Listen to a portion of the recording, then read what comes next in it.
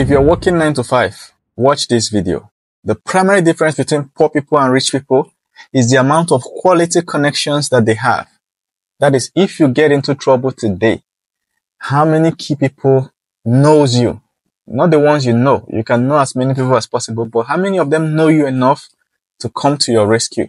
How many of them have the financial power to drag you out? If you start your own business today, how many people, key people know you enough to be able to, uh, if, if they patronize you in your business, your business will go up. One of the problems with most people that go nine to five is that they tend to stay on their level.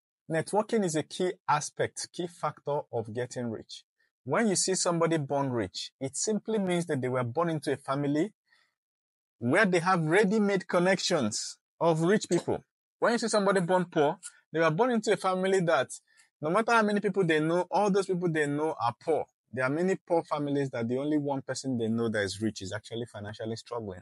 He doesn't want to see them. So let me tell you, right?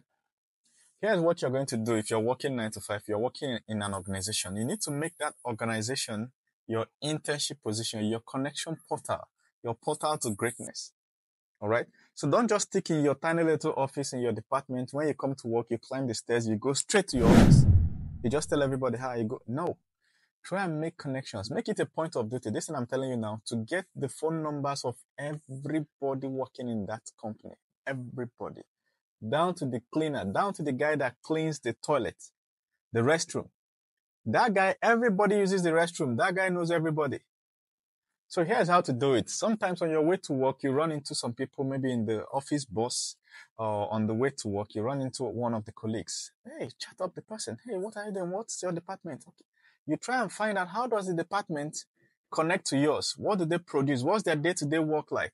So as you're finding out this, what's happening is that you are learning how to run a big organization indirectly. Because definitely one day you're going to have to run it. If you retire tomorrow at age 65, 70, what do you think you're going to do in the last 20 years of your life? You'll be forced to that business you're running from. You'll be forced to do it by force. So first of all, it's your internship, right? So you ask them what they do, how do they do it, who connects to who. You notice that many people are happy to explain how their system works. All right. You want to figure out how it relates to yours, how the management, who is their manager. So this is, this is internship you're learning. All right. In some organizations, you can even start doing internship with the person. You tell the person, Oh, I really want to learn these things you guys do. Maybe let's say it's a factory that produces clothing. And this, this, this department produces only the collar. The other one produces only the hand. And they put you where the, they produce only the helms of the clothing. If you run into somebody that produces the collar, you can start internship with that person. You say, hey, I've always wanted to learn how to produce this collar thing. Can you teach me? I don't mind paying you. That's how you make friends. Before you know it, you've collected the person's number, you've put it on your WhatsApp. Let them be seeing your status and stop posting rubbish on your status. Or you add them to your Facebook or whatever social media you use, you add them, all right? So that when you make a post, they see it. That's how you make friends. Before you know it, they're chatting you. Hey, that thing you posted yesterday, blah, blah, blah. You are building what I call connection. As many people, everybody in the company, when you see your bosses, you respect them. Sometimes you run into them in the elevators, you try and pack up discussions. Do you understand? At the end, you want to collect their card or anything at all people that are totally way out of your league. Those ones are the key connections. At the end, if you're working in a company that has 100 staff, if you're leaving that company after six months, one year, you need to have 100 contacts. This is how to build greatness. Now, let's say you start your own business. Let's say you have left the tailor company and you start a food business. Guess who will be the first people that will patronize you in that business? I'm telling you, it's those 100 people. They will say, Yes, I know him, I know him. Yeah, I once met him. Yes, I see his status. So now you can post on your status that, hey, we now supply food to different companies. You will get 100 contacts that are ready to patronize you. If you run into problem, 100 people that are ready to help you. I'm telling you.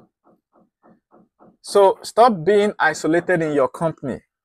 It doesn't help anybody. That's your poor mentality from childhood following you, thinking that you, I don't want to talk to anybody in this company. People in this company, they, they, yeah, they ache me. Or you'll be doing big girl for them because your boyfriend is, uh, you just come, some people uh, crawl out of dungeons, but they will dress well and come to office and be waiting for people to come and talk to you. I'm telling you, it's not taking you anywhere.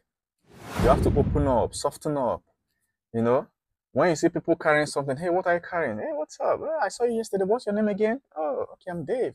Which department are you into? Oh, I'm into this department. I'm, uh, can I have your number? Maybe we'll talk later. You see, afternoon, you call the person. When do you normally go for lunch? Let's go to lunch together. go, you make contacts. This how you have to build it. Connections are built. Any person that got rich from zero, from uh, from poverty, self-made, there is a period they are building connections, and it, it never stops. It never stops. You see musicians do that. They always visit other musicians. They will shake everybody in the club. Shake, shake, shake, shake, shake. Before you know it, they are doing collaborations. You have to know everybody who is connected to who, who is connected, who this person connected to that.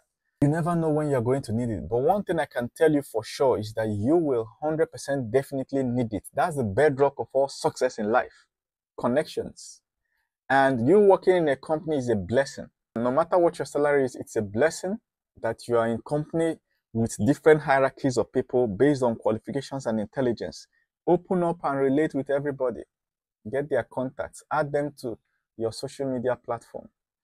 If it's WhatsApp you want to add them to, you add them because they can't see your previous stupid updates. now you post some things that make sense. All right. If it's your Facebook, you add them. If you have a special phone number, you want to add them, LinkedIn, put them, be adding them. Building contacts takes time gradually one after the other. Just make it a point of duty from this video that everybody in that company, you must have their phone number. I'm the one that sent you. Say it like that. So um, please click this share button. Many people need to see it, okay? And follow me. If you're not following me, follow me so that when I release my next video, you will be the first to get it.